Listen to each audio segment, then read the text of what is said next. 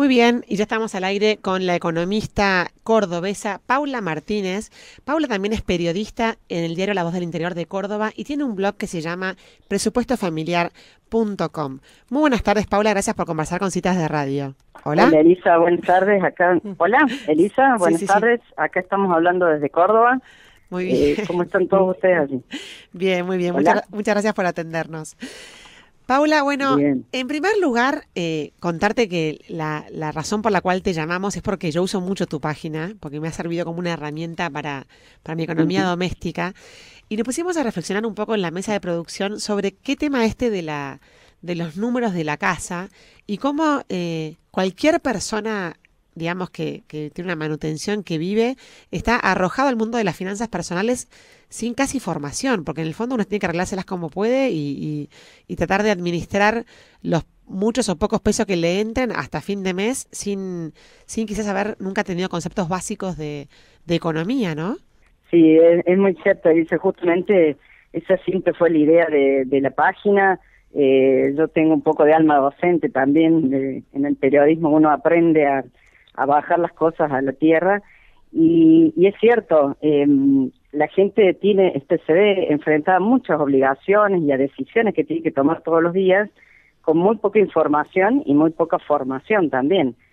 eh, siempre hay algo que uno escucha a diario que es que la gente no llega nunca a fin de mes, el sueldo nunca le alcanza, sus ingresos nunca nunca le llegan, nunca le alcanza para terminar el mes y la verdad es que eso eh, es algo que no siempre se dice, pero no tiene que ver con lo que uno cobra. Tiene mm. que ver como uno administra el dinero, porque si uno cobra poco, tiene poco, yo siempre digo, uno cobra poco y tiene eh, problemas chicos de plata, pero cuando uno cobra mucho y tiene muchos ingresos, los problemas se pueden hacer gigantes si no aprende a administrarlo. Entonces, eh, bueno, siempre es, eh, es bueno informarse y formarse en estas cuestiones. Claro. ¿Y, y, por qué te parece que hay como tanto, digamos, déficit en, el aspecto? Porque en el fondo cualquier persona que tenga, eh, digamos, es matemática básica, ¿no? Pero uno pensaría que es matemática básica, pero en el fondo cualquier persona que tenga una formación más, más de letras o más docente o más de algo que no sea económico, realmente no, no, no recibe en toda su, su formación, digamos, eh, otras herramientas que lo que pueda tratar de hacer con el sentido común. Sí, es cierto, hay, hay por un lado un déficit, me parece, en el sistema educativo. En los últimos años uno ve en otros países, hay incluso clases de economía doméstica que acá no tenemos. La gente no sabe qué impuestos tiene que pagar, cuáles son sus obligaciones impositivas y qué es a lo que tiene que hacer frente, por ejemplo. Y después también hay, bueno, por ahí poco poca difusión de ciertas de ciertas herramientas que uno tiene que aprender a, manejar, ¿no es cierto? Claro. Em, ¿Cuáles son esas herramientas básicas que para vos hay que saber como para tener un mínimo de, de, pericia en la administración del dinero?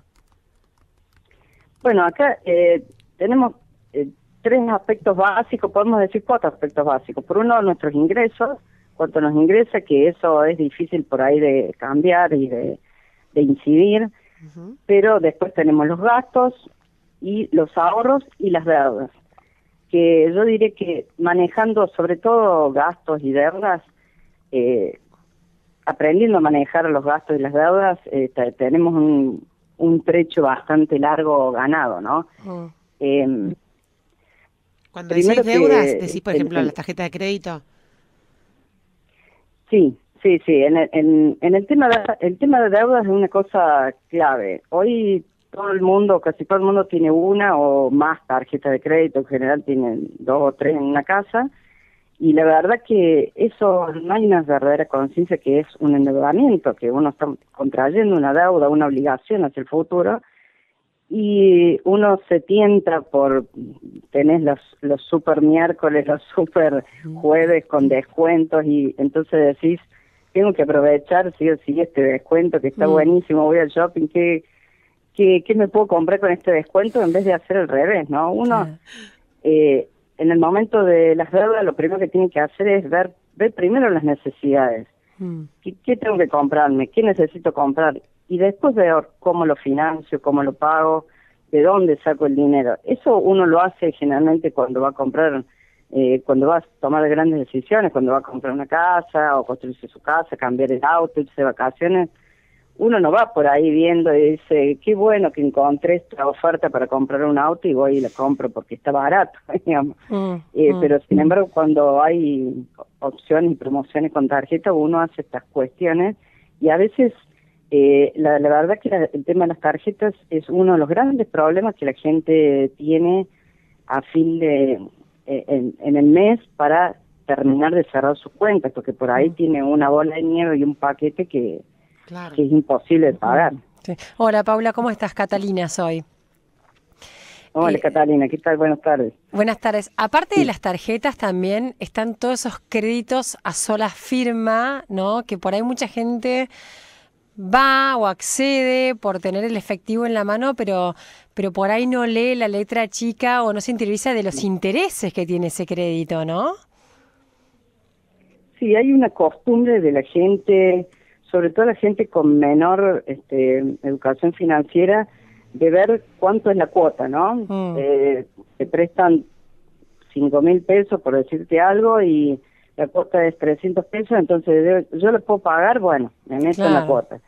Y nadie mira en realidad cuál es el costo financiero. Mm. Eh, cuando uno tiene una inflación del 25-30% eh, anual, supongamos que sea así, que no mm. estamos seguros de cuánto es, pero bueno, mm. supongamos que sea eso, eh, y nos están cobrando un costo financiero total en, en ese tipo de cosas que son no bancarias, llegan hasta el 100% anual. Entonces ahí te estamos pagando miles de veces lo que estamos pidiendo, mm. pero en términos reales, o sea, descontada la inflación. Eh, esa es una cuenta que tenemos que hacer y eso lo debería hacer todo el mundo. Y es más, cuando uno necesita dinero, en vez de ir a la opción más fácil, que puede ser ir sin, sin papeles, casi con una sola firma, tratar de averiguar distintas opciones. Claro, el tema también, eh, Paula, que lo que vos decías recién, es que esta gente está en una situación que realmente a veces no tiene una alternativa. Me pasó mm. con una persona que, empezó recientemente a trabajar en mi casa que y, la única opción que tenía para comprarse una moto era con un con uno de estos créditos que no era un banco y si uno lo compraba con una tarjeta de crédito e, e, era la mitad de las cuotas, era exactamente la mitad de las cuotas y uno estaba pagando como dos motos, era con las cuotas que le ofrecían en esta casa. Entonces en el fondo es como una Ahora, ¿cuál es la solución para estas situaciones? ¿Que el, que el Estado regule un poco más? Porque es una especie como de cosa medio usurera o no? Eh, sí, sí, realmente para eh, el principio ahí hay un problema de economía informal, ¿no? Que hay mucha gente que no está bancarizada, que no que cobra su sueldo en forma en negro, digamos, y entonces eh, no es sujeto de crédito para los bancos, no puede acceder a los bancos.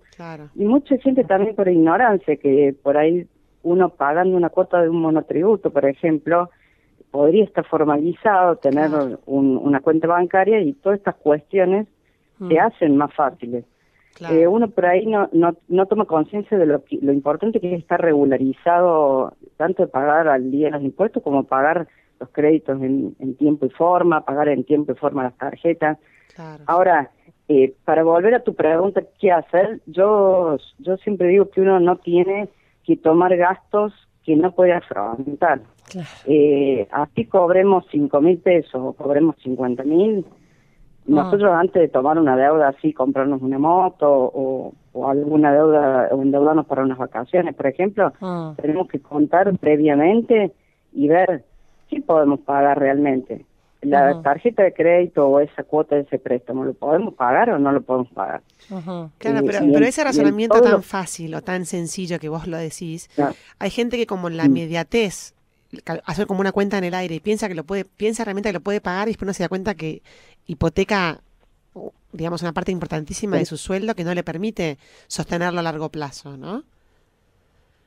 Sí, sí, digamos hay, como un bombardeo de consumo y de consumismo que hace que uno entre en esta cuestión, ¿no? De que que si no te fuiste de vacaciones todos los años todos los o no aprovechaste de comprar ropa o no te no tenés el último auto el último celular eh, el último televisor con todas las funciones eh, no podés vivir prácticamente. Mm, entonces uno entra en toda esa cuestión y en algún momento tiene que también poner un freno. Yo creo que hay que, que mm. frenar un poco en eso y ir y ver realmente qué me hace falta. Sí, aparte, Paula, sí, como, como decías vos, como decías vos, todo un proceso inflacionario tampoco colabora con, con, con el orden de las cuentas, ¿no? Porque uno se da cuenta que, que, el dinero en la mano pierde su valor, entonces sale corriendo a, a ver en qué lo invierte. O en qué lo gasta, y, en qué lo gasta. ahorrar. Sí. Sí, la inflación, bueno, eh, los argentinos estamos muy acostumbrados a, acomodarnos a las situaciones y esto de las 12 cuotas sin interés en la inflación, aunque uno no conozca mucho, no sea muy eh, muy versado en temas financieros, se da cuenta que obviamente al cual cuota y entonces quiere aprovecharlo a toda costa.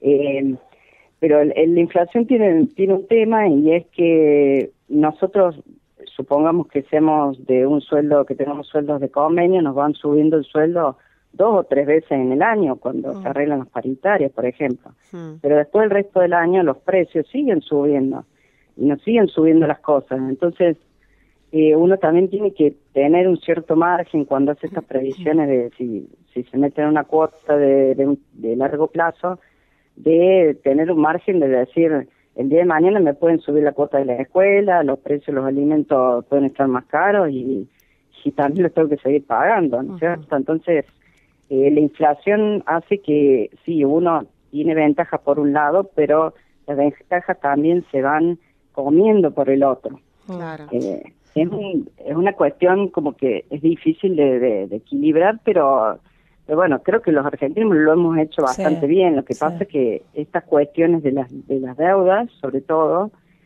es, es un gran tema que, que hay que, que parar la pelota y, verlo y verlo bien. Y por ahí aprovechar ahora justo que la gente cobró el aguinaldo y si tiene algún algún tema ahí que le está molestando, alguna deuda que que no puede pagar o la tarjeta que viene dando vuelta, dando vuelta, mm. tratar de ponerse al día para empezar de cero y empezar como más eh, más fácil el segundo semestre, ¿no? Paula, ¿qué herramientas brindás en tu sitio? ¿Cómo, cómo, cómo es la interacción con la gente que, que ingresa al sitio? ¿Con qué se encuentra? Bueno, nosotros ahí, eh, esto empezó siendo de estos temas de economía doméstica y después eh, me di cuenta que hay, había muchos otros temas que a la gente le interesa muchísimo. Uno es el tema impositivo, todo lo que es impuesto a las ganancias, porque la gente cada vez eh, le afecta a, más empleados, ahora han quedado algunos afuera, pero pero bueno, cada vez la gente tiene además más obligaciones formales, hay que cumplir con, en junio, por ejemplo, los empleados tienen que presentar declaraciones juradas de ganancias y bienes personales aunque no paguen. Mm. Eh, Después todo el tema del monotributo, que ahora también está muy complicado. Y otro, y un tema muy, muy fuerte en el sitio y que la gente consulta muchísimo, es todo lo que es servicio doméstico, que ahora todas las empleadas domésticas tienen que estar regularizadas, tienen que estar blanqueadas y hay que pagarle como si fuera un empleado común, digamos, sí. aguinaldo, vacaciones, hacer los aportes, pagar una RT que es de riesgo del trabajo, uno tiene una eventualidad de si lo despide tiene que pagar indemnización. Mm. Eh, hay, hay toda una serie de cuestiones en, en el servicio doméstico que hacen que la gente esté realmente ávida de conocer. Ahí nosotros tenemos una calculadora para calcular sueldos mínimos que en general la gente no mm. sabe.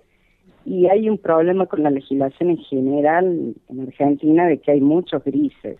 Hay muchas cosas que son como que no sabes para qué lado correr y la verdad que la gente en el sitio pregunta mucho, hay, hay muchos comentarios que, yo trato de responder en, la medida de lo posible y, y esa, esas cuestiones grises son muchísimas, se multiplican varias veces. ¿Y cómo se te ocurrió hacer esta página, Paula?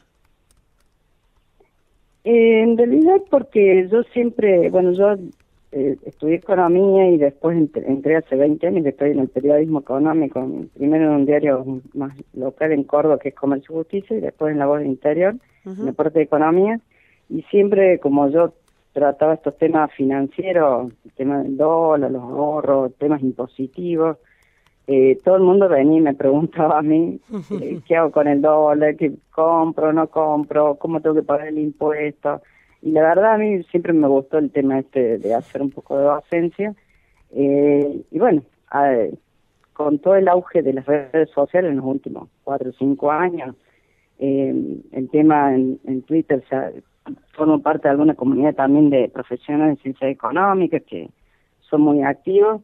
Y bueno, y ahí empecé y digo, bueno, estaría bueno tener algo algo así que ayude a la gente, porque la verdad que uno ve, yo estoy en contacto con mucha gente, parientes, amigos, compañeros de trabajo, que son gente que relativamente está formada y tiene problemas, entonces yo me imagino el resto de las personas que no están en, contacto con, con diario, con información, con noticias, este, claro. que puede ser un, una, una gran ayuda y la verdad que fue una sorpresa porque eh, yo soy de Córdoba y yo esperaba que algo en Córdoba de la gente que me conozca tuviera repercusión, pero la mayoría de la gente no, de la que leen es de acá, digamos. y, es, muy didáctico tu, tu, página, la verdad que es muy didáctica. A mí lo que, lo que siempre me impresiona de nuestro sistema impositivo es lo complejo que es cuando alguien quiere hacer las cosas bien, porque yo pago mis propios impuestos y me rehuso a contratar a un contador, pero tengo una... una un contador que es amigo y lo, lo taladra a, preguntas y a dudas porque es tan complejo entenderlo. Yo lo quiero entender para poder hacerlo bien. Igual es, es una maraña de cosas y después te lo cambian y la verdad que es muy desafiante eh, el tema impositivo en la no, El tema impositivo es terrible. Yo, yo te digo, las declaraciones juradas de estas de empleados me las hace un contador. Yo hago todo lo otro, pero ahí hasta ahí llegué, digamos. Meterte con los aplicativos y vos ves todos los contadores como en, en, las redes sociales como reniegan con los aplicativos porque realmente renegan sí. eh, decir bueno que por ahí casi que no vale la pena pero el, el tema impositivo y cada vez hay más obligaciones con el de la gente común digamos porque antes los empleados no tenían prácticamente obligaciones tenían obligaciones el que era autónomo el que tenía una empresa no es cierto una persona como una empleada no, no tenía prácticamente obligaciones y ahora sí, incluso como monotributistas, que, que vos decís una persona que, que tiene, digamos, un nivel de ingreso bajo, que supuestamente un régimen simplificado, ahora tienen factura electrónica de determinado nivel, tienen que eh, autorizar las, las, impresiones, o sea, tienen toda una serie de... Sí, lo menos simple que hay. de obligaciones. Sí. Bueno, Paula. eso totalmente, totalmente. Es, lo menos simple que hay. Y después otro gran tema, bueno, que, que ese te quería comentar, es todo el tema este del dólar, el cepo al dólar, cómo comprar dólares, cuánto sale. Eso también es otro gran tema que la gente consulta mucho porque tenés eh, el dólar oficial, tenés el dólar ahorro con el 20%, tenés el dólar tarjeta con el 35%, el dólar viaje con el 35%, mm. tenés gente que lo puede recuperar de una forma a través del impuesto a las ganancias, otro que no cobra, no paga impuesto a las ganancias, eh, hay como una variedad y una, un abanico de cosas que la verdad es que Argentina da este tipo de, páginas eh, y, yo que siempre escribí economía en, el periodismo, la verdad es que Argentina da para mucho porque siempre tenés novedades, noticias y, cosas complejas que, que bueno, son súper creativos nuestros gobernantes para ponernos cosas, cosas raras. Bueno, Paula, muchísimas, muchísimas gracias por estos minutos de conversación con vos. La verdad que muy útil. Esperemos que esto ayude a difundir tu, tu página presupuestofamiliar.com.ar y gracias por, por los consejos. Bueno, Alicia Catalina, muchas gracias. Eh, les agradezco muchísimo haber tenido la oportunidad de hablar y saludo para toda la gente de Teguajo y para todos los oyentes. Bueno, muchas gracias. Adiós. Bueno, chao, buenas tardes. Esta fue una nota con una economista cordobesa que tiene una página que se llama presupuestofamiliar.com.ar en la cual te ayuda a tomar decisiones de economía doméstica.